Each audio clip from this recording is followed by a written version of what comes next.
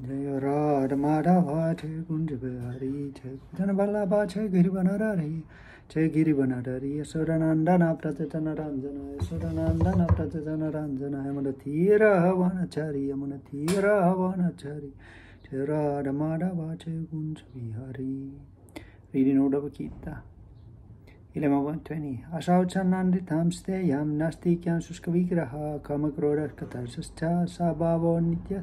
Vasayan lack of cleanliness dishonesty, very, very little faith in God, unnecessary quarrel, lust, anger, great anger hankering are the nature of the lowest among men who are outside of the Varnashrama system. So this is basically describing the, the, the this today's world, how people are not anymore connected to sattva. So all these these uh, classical Vedic uh, classes, they are all connected to sattva and spiritual culture.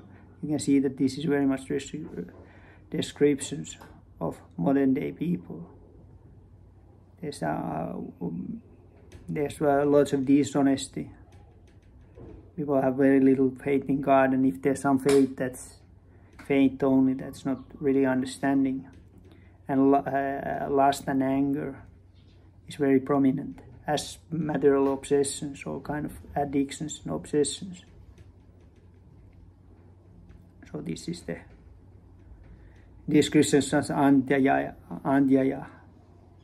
So it's uh, these are not social classes where the people are forced. These are classes based on the uh, guna constitution, their modes of nature.